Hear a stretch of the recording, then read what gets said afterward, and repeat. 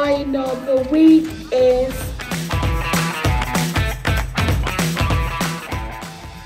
The sign of the week this week is Christmas tree.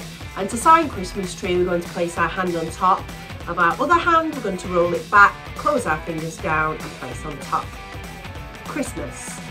To sign tree, we're going to place our hand upright, pressing on our other hand and our hand is going to quiver. Christmas tree. Christmas tree. Christmas tree. Christmas tree.